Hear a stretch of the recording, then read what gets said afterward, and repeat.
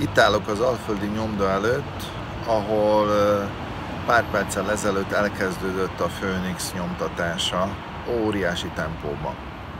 A könyv, hát elég durva világválságba vagyunk, meg itt száguldanak a fekete árnyak fölöttünk, és azért írtam meg ezt a könyvet, hogy a, a félelmeinket, hogy hogyan oldjuk meg hogy hogyan legyünk úrra ezeken, és ezáltal az immunitásunk is hogyan legyen jobb.